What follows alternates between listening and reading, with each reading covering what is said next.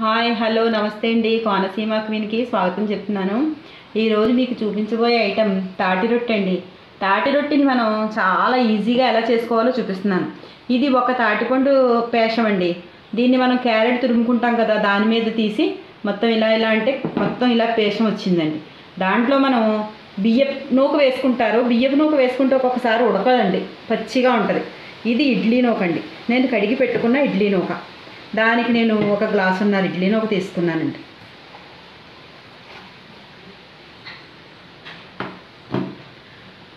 అందులోనే మనం ఒక చెంచా చిన్న స్పూన్ తోటి మాటండి ఇలైచీ పౌడర్. ఒక చెంచా సోంపు. ఒక కప్పు కొబ్బరి తురుము. పచ్చి కొబ్బరి తురుము అండి ఇది. మొత్తం అంతా కలుపుకోవాలండి. ఇందులో బెల్లం కూడా వేయాలి. నేను కలిపిన తర్వాత చూపిస్తాను మీకు.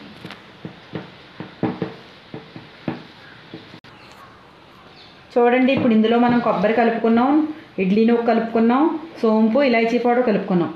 ఇందులో తీపికి సరిపడా బెల్లం పొడి కలుపుకోవాలండి. ఇది బెల్లం పొడి. నేను వేస్తున్నాను చూడండి ఒక నాకు ఐదు ఐదు ఆరు స్పూన్లు వేస్తాను. తీపిని బట్టి మనం వేసుకోవాలి. తాటి పేషెంట్ కూడా కొంచెం తీయగానే ఉంటుందండి. దాన్ని బట్టి మనం వేసుకోవాలి. ఇందులో ఒక్క స్పూను బియ్యం పిండి కూడా వేసుకోవాలండి ఒక్క స్పూన్. అంతే. అయిపోయిందండి. కలిపేసుకుని మనం ఒక గంట సెట్ చేసేయాలండి. ఒక గంట సేపు సెట్ చేయడానికి ఉంచేసి తర్వాత రొట్టెలు వేసుకుంటేనండి చాలా బాగుంటాయండి. మీకు నేను మళ్ళీ రొట్టెలు వేసి చూపిస్తానండి. మనం తాటి రొట్టెకి కలిపి పెట్టుకున్నాం కదండి. ఒక గంట సేపు సెట్ చేయడానికి ఈ పిండి అంతా సెట్ అవ్వడానికి ఉంచేసాం కదా ఇలా తయారైందండి. ఇప్పుడు ఒక రొట్టె వేసుకోవడానికి ఒక ప్యాన్ పెట్టుకొని దాని మీద కొంచెం నెయ్యి పోసుకోవాలండి.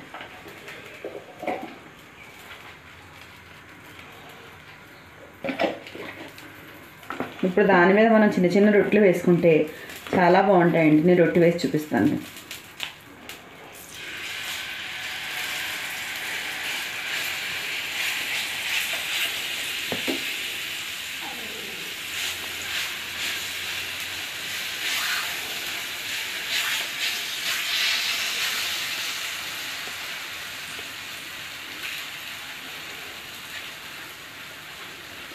చూడండి ఇలా రొట్టె వేసుకొని సిమ్లో పెట్టుకొని మనం దాన్ని కుక్ చేసుకోవాలండి. నేను కుకింగ్ కుక్ అయిన తర్వాత రొట్టె మళ్ళీ మీకు చూపిస్తానండి.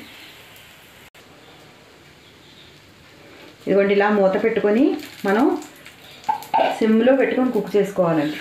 అవుతుంది చూసారా? ఇంకా అవ్వలేదు అవుతుంది. మళ్ళీ అయిన తర్వాత మీకు చూపిస్తాను. నేను చూడండి రొట్టి తిరిగేసాను నేను. రెండు వైపులా కూడా కొంచెం ఎర్రగా కాలిన తర్వాత తినేయడమే. చాలా బాగుంటుందండి. చాలా ఈజీగా. మనం బియ్యం పిండితో బియ్యం నూకతో చేసుకుంటే అది పచ్చిగా ఉండిపోయి లోపల లావుగా వేసుకున్నా కానీ గమ్మును ఉడకకుండా ఉంటుంది. ఇదైతే చాలా టేస్టీగా ఉంటుందండి. చాలా ఈజీగా చేసుకోవచ్చు. నా ఈ వీడియో నచ్చినట్లయితే మీరు సబ్స్క్రైబ్ చేయండి లైక్ చేయండి కామెంట్ చేయండి షేర్ చేయండి. Thank you.